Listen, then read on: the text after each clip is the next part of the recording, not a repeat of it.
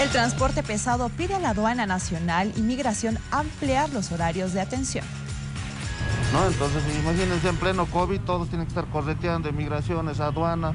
O sea, no hay un mínimo cuidado para el compañero de transporte. El Ejecutivo de las Cooperativas de Transporte Pesado pidió a las autoridades nacionales ampliar las horas de atención en la aduana y migración de la frontera entre Perú y Bolivia. Alrededor de mil camiones por día se encuentran varados en desaguadero. La preocupación en el sector es la gran cantidad de gente que se reúne en el lugar, generando un foco de contagio en los transportistas. Lamentablemente el transportista es el sector creo más abandonado en el transporte pesado, porque no, como estamos en carreteras, no estamos así en la ciudad, entonces muchos enfermos, hay varios contagiados y el peor problema que estamos teniendo con el, con el país de Chile y Perú es el tema de los PCRs.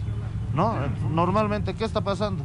El PCR solamente dura 72 horas que están permitiendo en Chile. Los transportistas solicitarán agilizar la atención de los trámites en la frontera. Se quiere garantizar que el producto llegue en menor tiempo al país para que éste sea comercializado en la población.